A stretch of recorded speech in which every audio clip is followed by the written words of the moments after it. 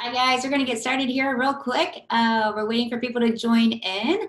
We're super excited to have you here. This is our 10th webinar that we have done. So that means we've been in quarantine for 10 weeks. So super excited to have you here. We have our guest again. We have Jeff Kish and we also have Allison Burkhart who are going to be joining us. And they're going to be doing the back channel as well as hopefully Allison created a lesson plan. So hopefully we'll have time for her to showcase her lesson plan. We're going to get started in two minutes. I hope you guys are excited. I am. We're going to learn about student engagement and deployment plan for blended learning. So we'll be back here in just two minutes.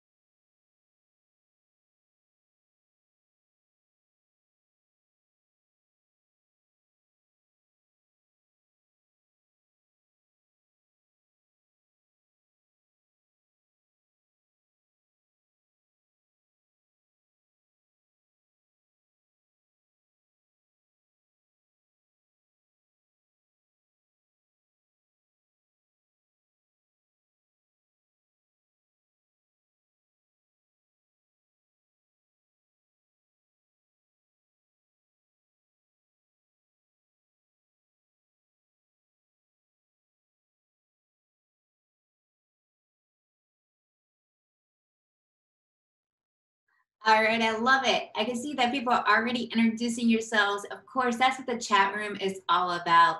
I'm here. I'm in, my name is Marcia Kish. For those of you who are here for the first time, we're super excited to have you today. We're going to be talking about student engagement and what that looks like. As you can see, I'm actually standing in my backyard. I'm going to be using all kinds of backgrounds today to kind of entice you, get you excited, and think about how you can use backgrounds in your classroom. I posted a link in the chat room. That chat room link is going to take you to, oh, see now I gotta turn off my background because that didn't work out so well. the, the link that I was posted you in the background is going to, chat room is going to take you to this link here. This is a PDF that is all about student engagement, and this is what we're going to be talking about today. So this is going to be what you can go grab off of that link. I also put together just this morning, fresh off the press, a growing together virtual classroom expectations. And it's kind of a fun way that you can actually have this as an anchor chart or send it home as a PDF. So take a look. I put that link also as part of the link that just went out to you. So today we're going to be doing it almost like in three sections. One, we're going to be doing like a road trip talking about how to engage students in a virtual environment. Two, we're going to talk about the deployment plan. And three, we're going to round it up with answers, questions, and next steps. We are also super excited. We have a new update to our phone app. Uh, Jeff will put the link in the chat room for you. The phone app is there because it has everything we have done for the last 10 weeks all the videos, all the resources, all the templates. And when you get started next year in the fall, you'll have this with you. It's almost like you get to carry me in your back pocket. I mean, come on, how exciting is that? kind of weird, but at the same time, kind of cool because everything is one spot. Today, we are going to be doing the virtual learning student engagement in a road trip format. There is going to be a game that we are going to be doing. Uh, the game is you have to guess my end destination. My end destination, meaning that I'm going to be going to different states and you have to figure out the end state. And if you can get the city, that's even a bigger bonus. What do you get? Well, you get a free webinar with me, meaning I will go do a workshop for your school on student engagement, differentiated instruction, or blended learning. So you definitely want to make sure you're playing the game. So grab your pen, grab your pencil, because we're getting ready to go. Remember, the goal is to figure out what state I will end up in along with what city. Jeff knows the answer, so he's going to be monitoring also if you have a guess. So it's going to be exciting. It's going to be fun. Let's get started. All right, as I'm getting ready, I know that we have Jeff and Allison on board. You guys want to just say hi and tell them what you've been up to last week? Go ahead, Allison. Can everyone hear me? Hi, guys. Um, we are finishing up our school year, so I have been grading everything that's turned in because uh, when you're a little lenient with deadlines, kids like to wait till the last minute. So I love those uh, Google Classroom submissions at 2.30 in the morning. you gotta love it, don't you, Allison? Yeah. well, we're super excited to have you back with us again. So if you have any questions for Allison, she's been doing blended learning for the last couple of years. She's in the back channel answering any questions, and hopefully we get time. She's made a really cool lesson plan for a hybrid environment. So hopefully we'll have time to share that out. And let's see, Jeff, hey, are you there? Hey, gang, thanks for hopping on today. It is number 10 for us. Hard to believe. Uh, I think we've done it every week now for 10 weeks, two months. So it's been fun. It's great. Uh, we have about 80 people on with us today. I hope you hang out. Uh, Marcia's put together a very fun and engaging and uh, good gift here at the end. So pay attention to the clues and see if you can guess where uh, she's heading to. All right, let's do this. So here we go. We're going to start out, first of all, by our cool introduction of how to increase student engagement. Why did I pick this topic? I picked this topic because of the fact that when I was watching all the questions that were coming through last week, sorry about that, I noticed that student engagement, how do I get the kids to be engaged, was their number one thing that I saw all week long. And I get it, I understand. It's tough. How do we keep those kids engaged? Well, that's my whole goal today is to help you with that. So first off, I am starting my journey in the wonderful, great state of Ohio. That's right, that's my hometown. So we are going to start our out in the great state of Ohio. Let's do it for the Buckeyes along with Zoo Days and the all kinds of fun things. Kish Camp is the number one thing all of our nieces and nephews love. So we're going to talk about how to increase student engagement in a road trip format. So we're going to go through all these different destinations, giving you 10 ideas you can use for your classroom as we travel through. So our first one that we are going to do is we are going to first talk about the clue. Take out a look at the clue. If you're watching, you can see there's a clue there. We're going to talk about how to get to know your students. This is really important when we are designing a virtual environment, we really want to make sure that we take time to talk to the kids. I mentioned in the flyer that you can grab for free that if you stop and talk to the kids about, like, maybe set up a get to know you meeting, a one, five to 10 minute meeting with all your kids. I know Allison would agree. She has 120 kids but it's worth it. Take that time, get to know them, ask them what they have, what ideas do they have for virtual learning we're going to still be in a virtual environment in the fall. Take this time to get you know your students.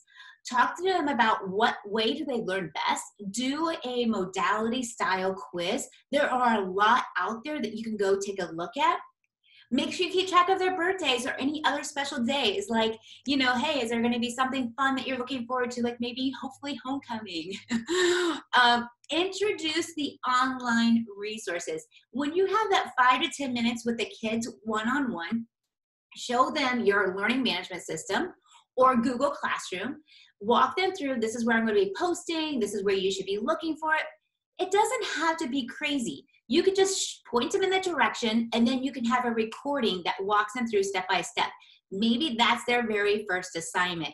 But take that time while you're with them. Be like, hey, I want to see your screen. Let's pull it up together. Show me where to go. All right, you're good.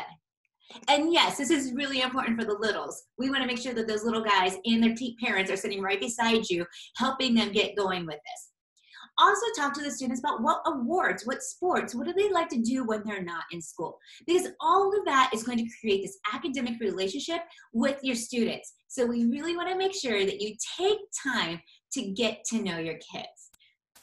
It's, it sounds crazy, but at the same time, it's super fun. Does anybody know where this backdrop is? I know I have a lot of Ohio people out there. You should know it's one of my absolute favorite places to go.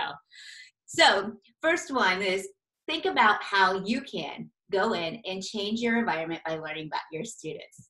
All right, we're going to destination number two. This is one of my ultimate favorite locations in the world because I get to go surfing and it's easy to get to. Most people go to Florida because the fact is they get to go to Disney World. Well, I go to Florida because I want to go surfing. I know. Sounds crazy. I'm stuck in Ohio, but I'm a surfer. So here we go. Whoops, sorry, I grabbed the wrong slide. Sorry, here we go. We made it to Florida. Yay! I love it when we go to Florida. It's super fun.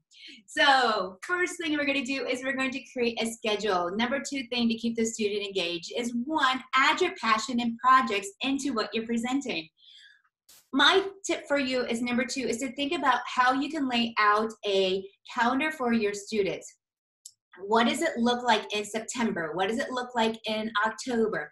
Tell them they're going to have virtual or on site, or maybe Fridays are going to be your office days. That's really important so they can make sure they're planning for it. Another thing that you want to do is set up the week. If you're going to be doing a virtual environment, really think about the week layout. Here's what you're going to do language arts, you're going to do math, you're going to have lunch break, you're going to have time to work, you're going to go to social studies. Lay it out for the kids so they don't they know how to plan their week. And then finally, think about what your schedule would look like when you're teaching. Are you going to start out with a whole group? I hope so. Get them excited about your lesson for the day. Then move into small group. Then do digital content, future ready. If you listened to my session last week, you heard me talk about this. You heard me go through and say, hey, take what you normally do and just break it up into these chunks. Don't surprise the kids. Walk them through it your first couple of times that you're with the kids, go say, hey, this is what we're going to be doing, and this is what we need you to do while you're in this environment. So there is also a clue. Hopefully you put two together right now. Horses? Hmm, do what horses mean? All right, I'm going to stop right there and I'm going to just ask questions. If you have any questions for me specifically on any of those two steps, yeah, I see people marked Cedar Point. Nice. what happens to the kids if they do are not capable to schedule, uh, follow a schedule we have established? Cindy, that is a great question.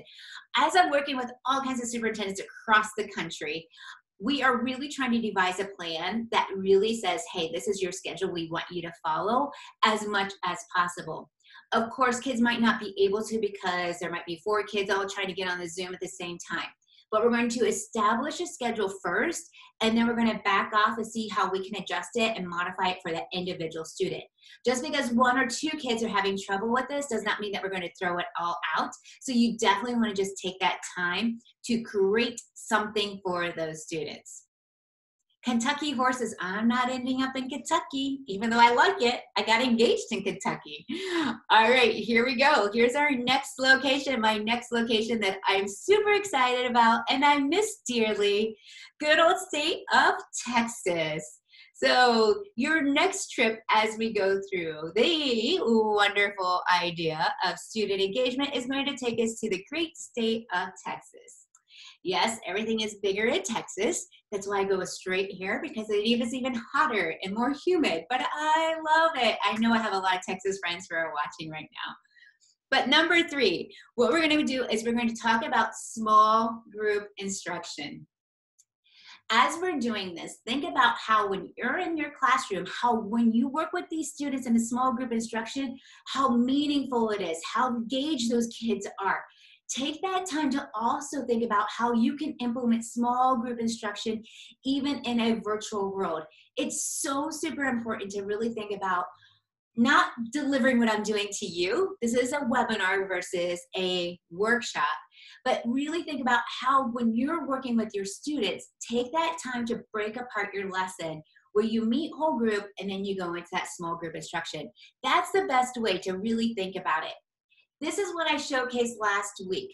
Last week I talked about as you're going and deploying blended learning, you're going to start out with the introduction. You're going to go to a small group, and then you're going to go do a small group two, small group three, and then you're going to do a whole group activity at the end, maybe an exit ticket. When you set this up this way, it gives you that opportunity to work with six, eight, ten kids at a time versus all 24 the student view. When the students go into this environment, they're going to start out with the introduction, small group, independent practice, digital content. Before they know it, they're getting back on and doing their exit ticket for the day.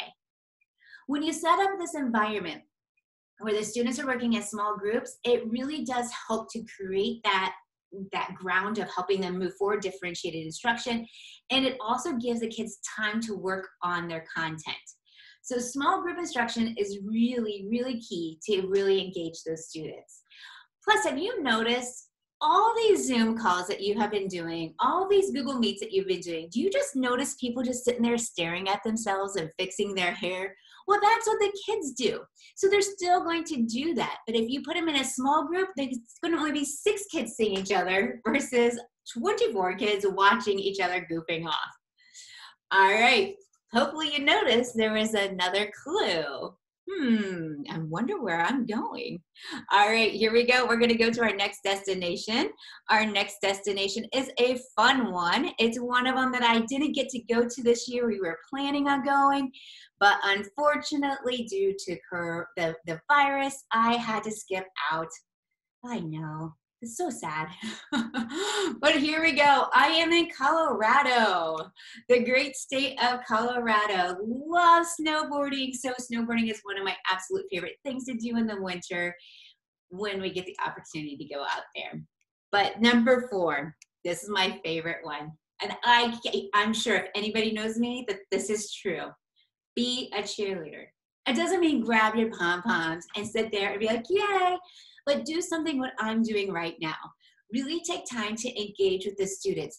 Think about ways that you can draw out your activities.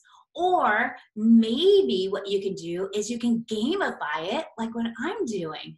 Hmm. Or you could do a spirit day. This little guy is my my nephew Denver. Huh, we're in Colorado and my nephew's name is Denver and he had spirit day where they did like a kind of like a show and tell and he brought his little puppy i love it do cutouts. What do i mean by that? I mean like think about like how you could get out your Cricut and you could do like little cutout sticks and you can have it fun like little ways for you to engage your audience through some type of a hands-on activity to show them. Think about movement. When i was working with a school this week which i'm super excited about they were talking about their schedule and i stopped them and i said what you're expecting these kids to be sitting from 8 to 2 with one hour lunch break. Can we get some movement? So one way to do it would be like stop your your lesson do a game where you can get them up getting them dancing like GoNoodle for the younger kids or the older kids. Stop and do some yoga poses. Hey let's do a tree pose really think about getting those kids up and moving even during your lesson because we're going to be sitting on our bums looking at a screen instead of walking to class, walking to the building, walking to the locker. So really get those kids up and moving just to help re-energize the brain waves. Think about your backgrounds. If you're a social studies teacher, how cool would it be if you're at Gettysburg or if you're teaching language arts and you're doing something with a book about kite runner you could do it where you're going to be going out flying kites Think about your backgrounds. Think about ways you can do that. Do a reveal. Last week, I did a whole entire post it note idea where I had the items laid out and I pulled off the post it notes. And then you're like, ooh, I wonder what's coming next. And then also, just do that show and tell, just like my little nephew. How cool is it to really think about bringing in show and tell with their pets, bringing in ideas of what they like to do?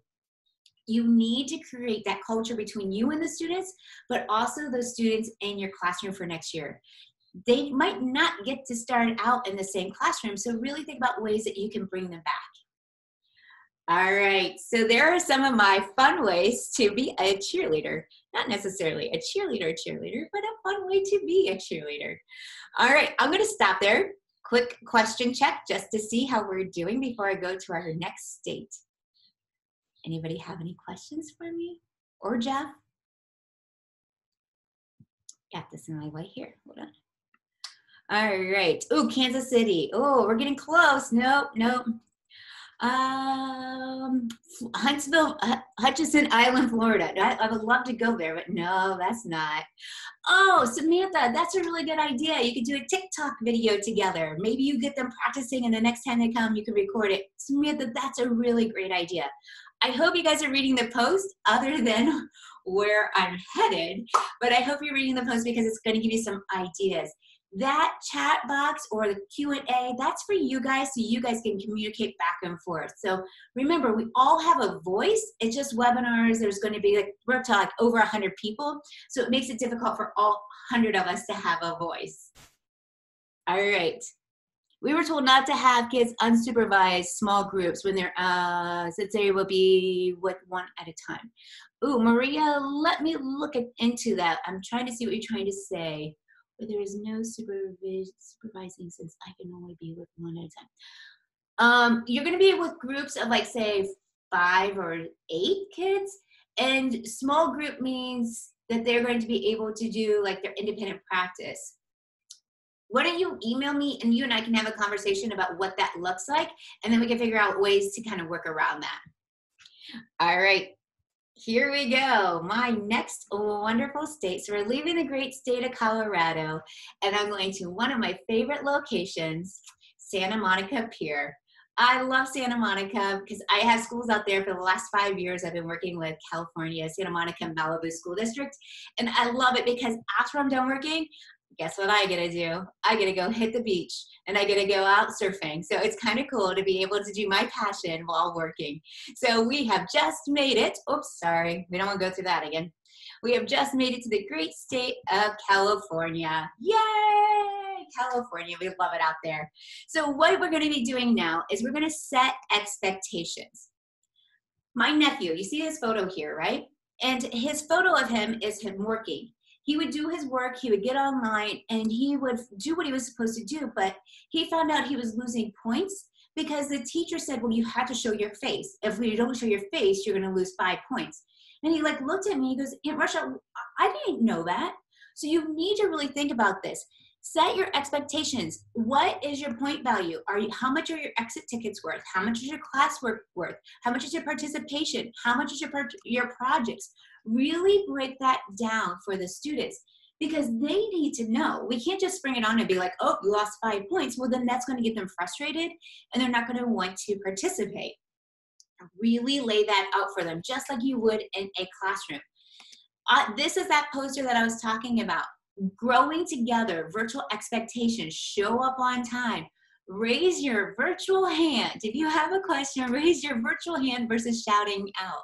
You know, we always want kids to answer yes or no. And in the virtual Zoom world, you can have them go thumbs up or thumbs down. There's even expressions. You could put a, if you're using Pear Deck or Nearpod, you can have them answering questions right there on the screen. But have them, let them have a voice just like in their classroom, but don't let everybody talk over each other. Be kind if they type in all caps, it seems like they're yelling at people. So talk to them. Make sure you capitalize and make sure you're not typing in all caps because people might be taking it the wrong way. Mute yourself. There's always a good reason to mute yourself. The reason is because you might have the dog barking, you might have the UPS truck show up or the dump truck. So having that background noise muted is going to help everybody to learn. What do we mean by share? Share the space, share together, share ideas. We're in this virtual world together. We don't want to just be learning by ourselves. So let them share out their ideas. So using a Padlet is a really good way, or Yo Teach app.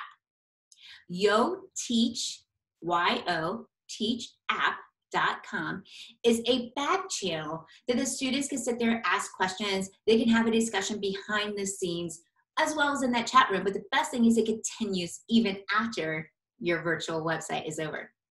And avoid distractions.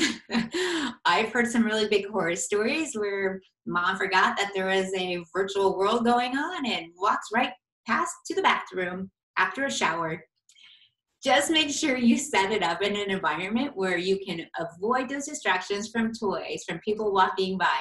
Tell the students this, tell them that, because then it's going to help everybody learn. And then also, I kind of created this as like a growing like collaboration. Like, you know, really think about like how you're doing it. Show your face, use the chat room, communicate, really collaborate together. All of these things are going to grow a really healthy virtual environment again, that is an act, this whole thing. Oh, see, I got to remember when I got my screen on, I have to be able to go back and turn it off. so this is again is the whole entire idea of where I created that little grow together virtual anchor chart or poster that you can send home with your parents. I actually took a lot of these ideas from an online school as well as when I created my virtual school because it really does help for us to really think about how do kids learn in a virtual world every day anyway? What can we learn from them? So I will make sure I post that link in our email back to you after this webinar so you can go take a look at it later. All right, Jeff and Allison, how's it going? We have gone through five things. Is there any big questions that we need to answer? No, I don't think so. Uh, some very, very, very close guesses. A lot of guesses coming in. A lot of great guesses. I am going to have to check out some of these. There must be horses on. I think it's Pismo Beach in California. That one's been nominated a couple times. I have to check that out. Um, there was Laura just was asking what was the resource that you were just talking about. I think it was Yo Teach, yes. right? Yo Teach app uh, yoteachapp.com. That's that channel. And that Connections Academy is where I found those resources. Let me go ahead and put that link so you guys can have it now. It's they call it the ABCs of etiquette. So let me put that up here for you guys. And then I will also put it in so it's in that chat room now. And I will also put it into your follow-up email because it is important to see what are these virtual teachers doing? They have been teaching like this for years. We can learn from them. So they never get a chance to meet their kids. So learning how they connect with their kids is also important. I'm super excited. I'm excited to see everybody still guessing. So I'm keeping your attention. Hmm, is this a good way to make sure kids are paying attention? we'll see. Marcia, Marcia, we had a great question from Jessica. Um, she asked if the screen time from eight to three with a one hour lunch would be for older kids, younger kids. How would that work um, with the different levels of students? Say that again. Jessica was wondering how blended learning would work uh, with screen time. Would it be would students be on there from eight to three all day, or is that just kind of for older kids, or how might that look? Yeah, is this Jessica Gates from Texas? No, it's Jessica Corbeil. I think ah. I pronounced that right. Okay, well, Jessica, Corbeil, great question. So, Jessica, I think that what's going to happen is it's all up to your school district and how they set it up. Every school district I'm talking to has different ways of rolling it out. One school district is thinking about doing it in three hour chunks. One school district is thinking about doing it in five hour chunks. Some people are doing an AB day where it's like you get to work virtually on your own, the other time you're scheduled. So I don't have the answers for the screen time because it's all up to your school district and what they decide. I'm just telling you that you, no matter what is happening, get those kids up and moving because we just don't want them sitting there all day. I don't know about you, but sometimes I tell my husband, I'm like, let's go for a walk. I just got to get away from the computer. I just got to get up. I just need to leave this environment so my brain can think of new ideas. Thanks for asking that question, Allison. All right, let's go to our next spot. We're going to our next destination, and this one is Seattle. Seattle is our sixth stop along the way, and it's talking about how change the way you present. If anybody has been following me for the last 10 weeks, you know every time you show up here, I have something different for you.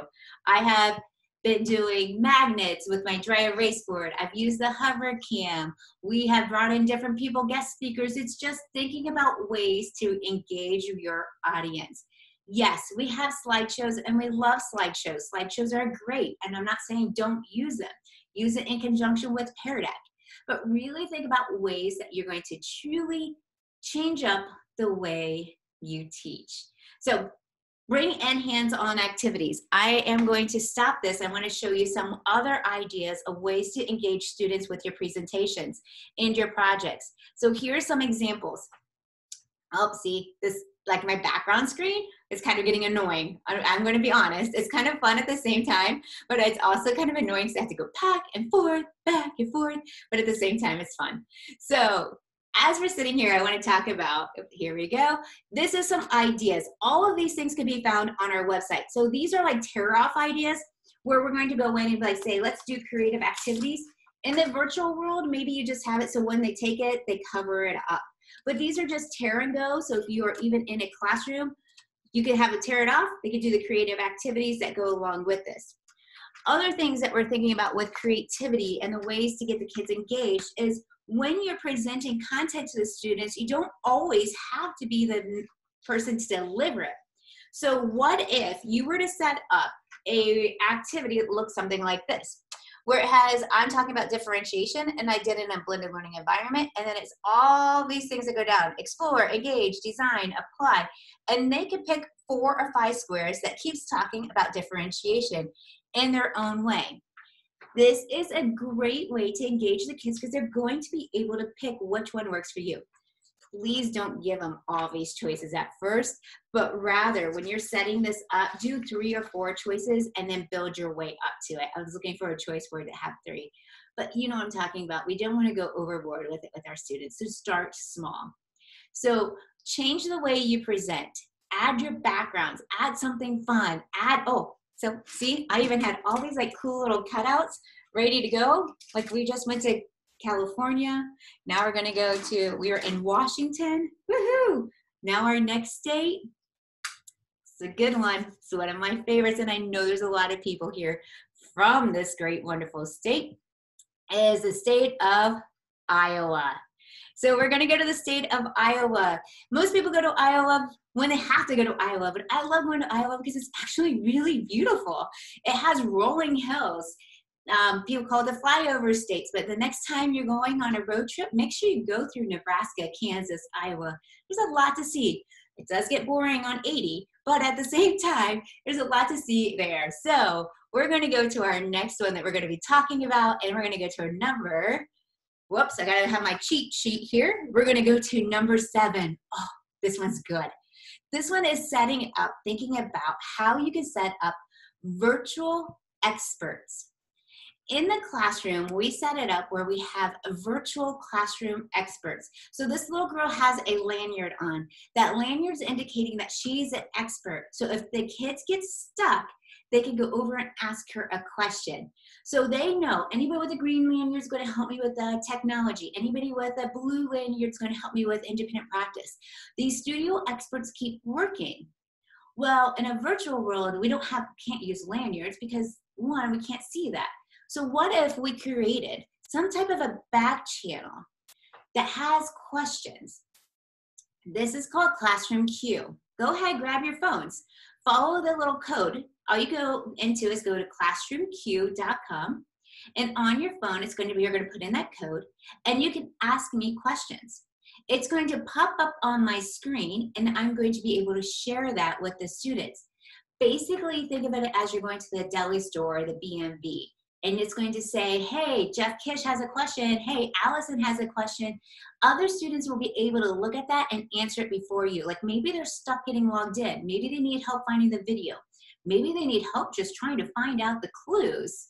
So this is definitely something that you would want to do is like think about setting up virtual experts who are going to monitor your classroom queue or you will be able to go in and assign based on how they answer. I did upgrade this, but you don't have to. You can put in as many questions as you are. You could just do five people in a queue, but if you upgrade, it's just going to help. When I was sitting there thinking about this tool, I really thought about, well, is it necessary? I have that chat room in my in my Zoom. Can't they just put that questions there? Or I have my email. Can't they just email me? Well, long story short, I don't want 900 emails with people having the same question over and over again and having to answer back and forth. The chat room is only good when I have Zoom or Google Meet open. So if I have something like this in the background that's just always in the background running, where people have questions, it's just going to be a, a one more thing I have to check, but I don't have to do a billion emails. It's just going to be easy to fix. So if I can see all five kids have the same question, I can email those five kids right away one shot saying, hey, here's the link that you're missing. So take a look at Classroom Q. I think setting up virtual experts is going to be a really good way to do this. And oh, I forgot, I had this too. Like if you thought about virtual experts and we had it set up, maybe, maybe they get like a little tag that they could put in their background. Um, so the, when they log in, maybe they have a virtual background that says, hey, I'm the virtual expert, so make sure you come and ask me questions. I really think kids would like this. I think setting it up where they have the ability to say, I want to become the virtual expert. I'm going to get my work done. Um, hey, Mrs. Kish, let me know if you need help next week. I would love to help kids out with digital content. They're still doing their work. They're just going to be there to help support you. So think about that as well. So that is step number seven. Okay, Jeff, do we have anybody with our winner yet? There uh-huh. are there have been a couple very very very close. Very close. Not quite yet. Okay, we're going to our next stop. We're going to stop number eight. Remember, there's only 10 years. So, our next stop is the great state of New York. Oh, I love New York. This is actually outside of Rochester, New York. Mexico, New York is where I was at when I was teaching. So, what we're going to do is we're going to talk about bingo. what I'm really thinking about in this next part is thinking about how, when we set this up, we can really think about gamifying our classroom environment to making it more meaningful for the students. Adding in Bingo Baker. If you were in one of my webinars, you know I did this where I gave you a sheet of all the keywords that I was going to talk about, and then you marked it off virtually and you said, hey, bingo. What I like about Bingo Baker is one, it's free. Two, you can go in and put pictures or you can put icons or just words. Then the kids are going to be listening to you and you're going to be able to mark off those keywords as you go. Another one is sketchnoting.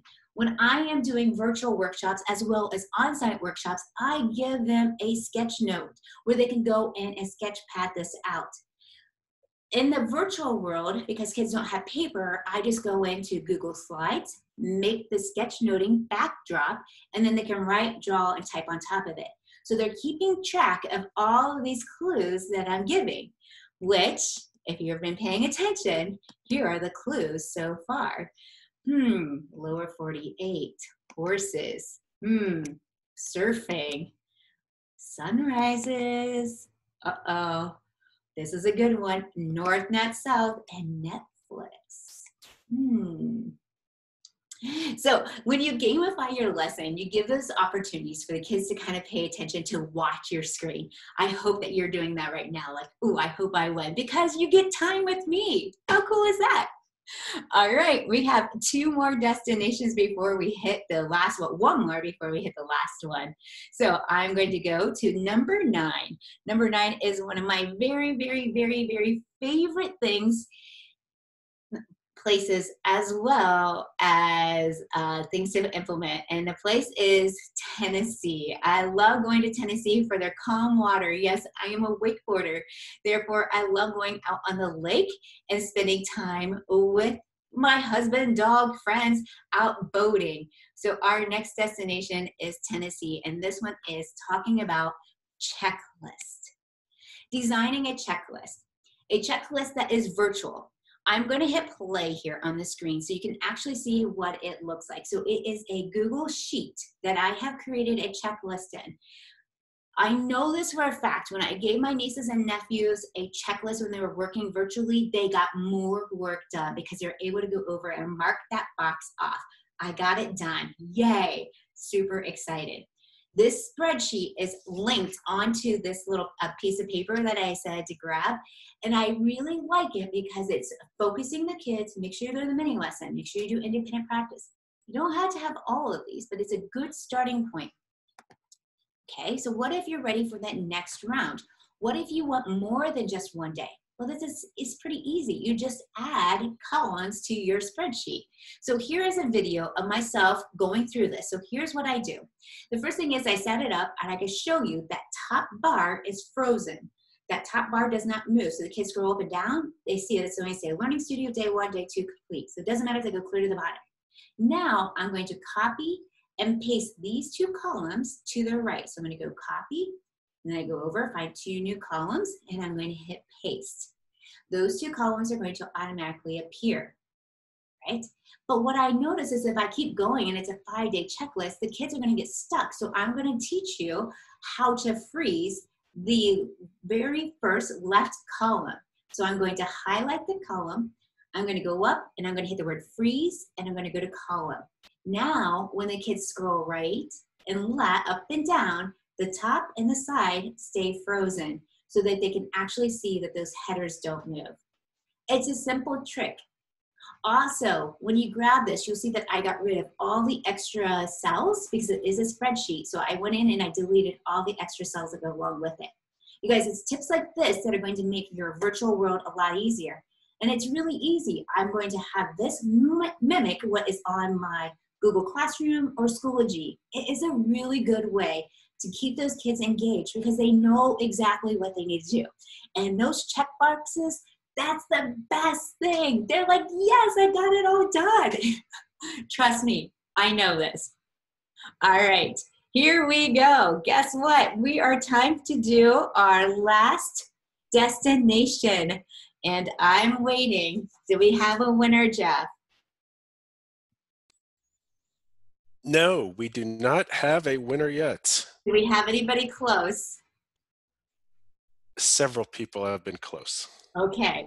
The last destination, one of my absolute favorites, is Outer Banks, North Carolina, Corolla. Corolla. Yes, yes. So we must have had 30 to 40 people that guessed the Outer Banks.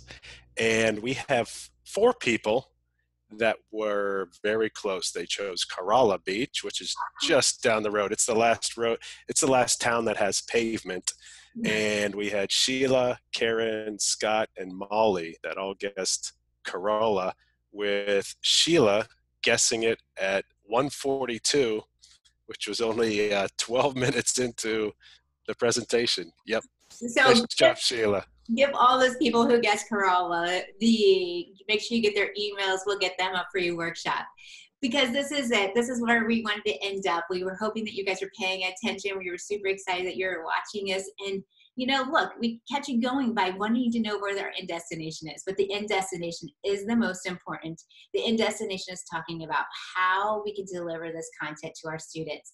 And when we deliver the content in meaningful ways, bring it with excitement, that's great. But we also really need to think about truly setting up, no matter what environment, a blended, a true blended learning environment. Blended learning by definition is allowing students to work at their own pace, place, and path. And everything's driven by data. So we can have all this information coming into us, but if we don't use it, we're not going to really improve scores, student engagement, behavior issues. We really got to bring everything together. Blended learning is just good teaching. Let me walk you through that pace. Pace means we're going to set timers in a virtual or a home environment where they're a school environment where they're going to set a timer hey i need to independently read for 20 minutes i need to complete this activity for 10 minutes place means where do the kids feel comfortable so my nephew trevor very comfortable sitting at a table my nephew christian very comfortable sitting on a couch my nephew denver very comfortable sitting at the table. I love it. He's in preschool.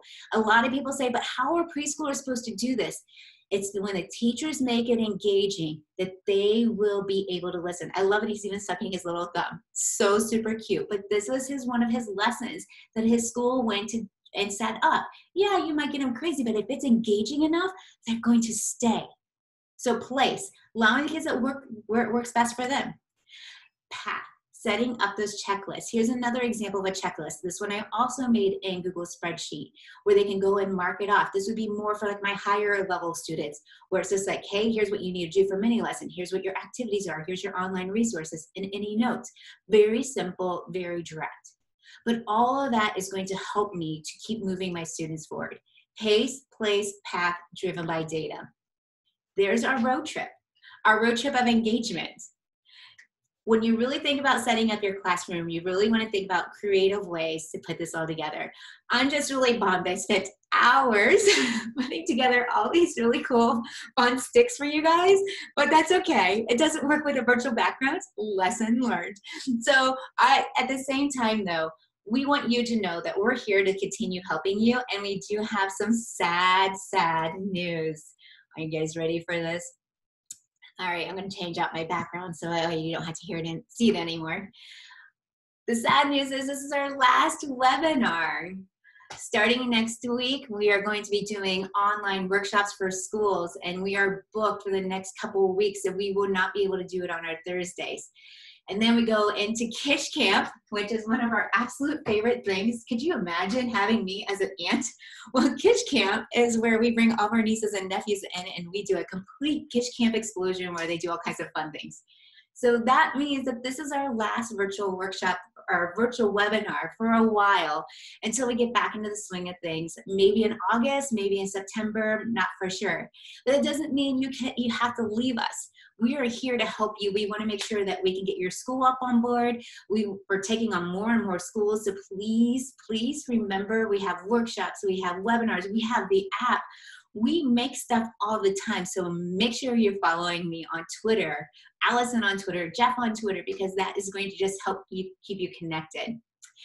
All right. Um, I know Allison does have a lesson. We're going to see if we could get that in before we leave. We have a lot of people still hanging out with us, so hopefully I kept you engaged in the student engagement activity. Um, Allison, do you want to kind of share out your lesson and what you created for a hybrid classroom? Yeah, absolutely. So I'm going to try to share my screen and walk you through a lesson that um, all the teacher, all the science teachers at our school did, and it worked really well. And I made it so, like Marcia said, it could be hybrid, virtual or in class. Um, it looks like I can't share my screen. Okay, so, perfect. I'll get it up here for you. I got it for you, sweetheart. Let me get it set up for you. Um, you know, hey, this happens, right? No big deal. But Allison, walk them through what you were setting up while I pull it up here for a second. Okay, so the uh, hardest part is getting started with this. I use a planning sheet where I just jot down um, everything I'd want to include in the virtual um, or in class studios that I would have. It's always important to create things that can be done in class and sent home with students because all students are working at their own pace. So I don't want to have anything that has to be done fully in class. We also know attendance can be an issue sometimes. So I want to be able to let students know what they can take home with them if they're not going to be there the next day. Um, so it looks like the second page. Yep. So this is my planning overview. I just went through and talked about, or I wrote down the learning objectives, what I wanted students to accomplish. Um, then I started thinking about how am I going to kick this off? I don't want to go over everything with the students. I want them to try to do some things on their own, but I want to make sure I give the, them enough information to get started. So for five to 10 minutes, I'm just gonna kick off explaining key terms, doing some practice with them. This lesson is all about observations and inferences. Uh, so it's something I would start off the year with every year. So this is a great lesson to do at the beginning. Then I wanna talk, think about small group instructions. What students am I going to have in what groups? Which ones will need the most reteaching? Those are the ones I wanna see first. Then what students I know can get started but will probably have some questions or need to do a little bit more practice. I'll see those second. And then the students that I know want to go off and do their own thing, they picked it up right away. Those are the students I'll probably see last so I can answer any questions they might have or dive deeper into the uh, content.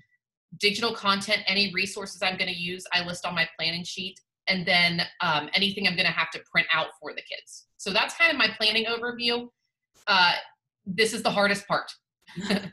And I want to tell you, Allison is a very great organizer. When I was in her classroom and I was coaching her to be, for blended learning, I mean, like super organized. Yes, it takes time, but man, when you walk in and you're organized in this fashion, it helps, right, Allison? It does. If you are stressed out and running around trying to make copies and lay things out when the kids are coming in, they're going to feel it and they're not going to respond as well. So I like to take extra time to make sure everything is as it should be before the students come in. And that way, because this will be new to them, they aren't overwhelmed. We're going through it together and I can calm them down a little bit. So even, that's my yeah, even in the virtual world, you still have to be organized. You still need to be ready to go, which is what you created here. So walk them through their schedule. So this is the schedule I would follow. Um, this one's for a 60 minute block time. Uh, this is just what it would look like for the groups. So 10 minutes we would kick off, whether it's virtual or in class, I would spend the first 10 minutes of my time with the students uh, doing an online lesson or together where, again, we talk about key terms, do some practice, and get them to where the students feel like they could maybe go off and start some things on their own. Um, then the next 30 minutes, for, for 30 minutes, I'm gonna spend time working with the different groups. I'm gonna call my first group up again, this is where I'm going to go through some basic practice with them, make sure that they understand what the concept was that we're working on. The second group I call up, um, I already know that they can do some of it on their own. So we're just going to dive straight in without reteaching. I'm just going to do practice with them because I know that's probably what they need.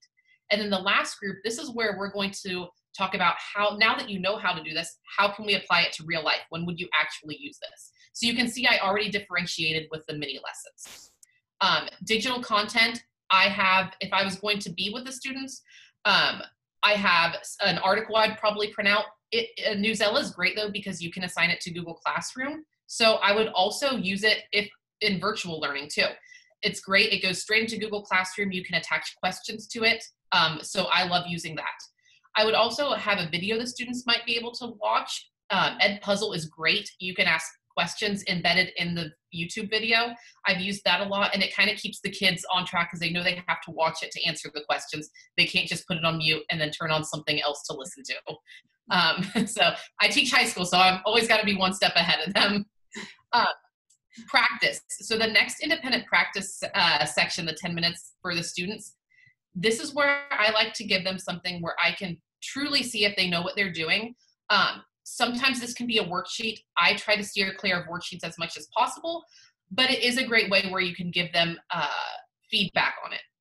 So I have an online skills practice sheet, um, but I've also thought of one that we could do in class, which is like a grab bag where making observations, they would have to put their hand into a bag and uh, figure out what's in there based on their observations. Creepy. It is. yeah, they don't want to do it, but they love it. So that's something, it's not a worksheet. They would have a lab sheet to fill out along with, with it. But I would truly be able to see if they knew the types of observations they were making and how they make inferences based on that. That's and then awesome. lastly, we would wrap it up with assessments. I would do a choice board um, where they can choose how they want to show me that they've mastered the concept. Or if you want to stick with just an assessment, then you could do that as well. And then we wrap it up and make sure we all understand what we're doing. I love it. And then that's a really good way. And then you have all the activities here that go along with it, that go along with the lesson.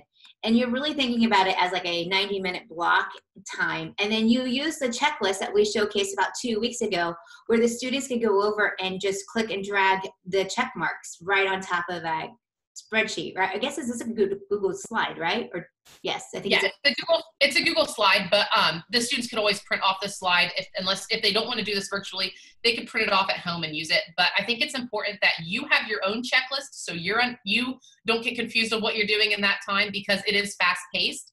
But it's also important that the students are checking off and knowing what they've done and what they still have to do because what we really want is students to take responsibility for their learning and become uh, what's the word I'm looking for? Uh, in charge of their own learning, where they're keeping track of things and it's not you holding their hand. It and won't happen right away. I love this. It's almost like this is a 90 minute block period or two days. So if you started this and the kids were in an A, B day, A day they're with you, B day they're virtual, they start with you in class and then B day they could be working on anything they did get finished and they have this checklist to keep them on track. Exactly. I always let my students know at the beginning what tasks can be done at home. So if you were seeing them on a hybrid schedule, it would be important for you to take care of the things that can be done in class and let them know what you expect them to do outside of the class um, with their checklist. I think this is a great example of what you can do in a 90 minute block and still in blended learning, no matter what kind of environment we have. I think a lot of schools are really thinking about the AB or 90 minutes, and this is a great example. And I know this is high school, but this can drop down to kindergarten or first grade. We just have to start to simplify it and really break it down for the students. If you watched that video last week where we talked about that, we really just said start slow to build this up. Allison has been a blended learning teacher for now, what, three years, Allison? Four years? Yeah, I think I I think we'll say three years. The, the first year I know I was really feeling my way through it, but for three years I've been using this and my students love it. And it was so easy to transition to this type of learning when we went virtual because the students already knew that they were, they had to do some things on their own. So it was really helpful. And I think it would work great with all virtual, hybrid, or in class situations. That's great. And Allison, if people ask for you to share this, are you okay with sharing this out with them? Absolutely. Please use it. okay. We'll make sure we put the link to this on the uh, follow up email so that way you guys can go ahead and take a look at it. And it's a great template. It's a great template just to really wrap your head around it. I think Allison made the best point is it takes a lot of time to plan it out, but then once you have that first planning page, it will fall into place. And the more organized you are, the kids will sense it. You know, like I said, I, I work really hard to make sure every week we come in with new ideas and get you guys excited about teaching virtual or online or on site. So I hope you're taking some of these ideas with you. Don't forget, find us online, find our YouTube channel, find us because we are here to help. If your school is looking for any workshops, we're here. That's what we do. So thanks, guys. It has been an amazing 10 week journey. I can't believe it's coming to an end. I'm a little sad, but we will be back just keep following us, okay? All right, enjoy, good luck, and let us know how we can help you. Bye, everybody.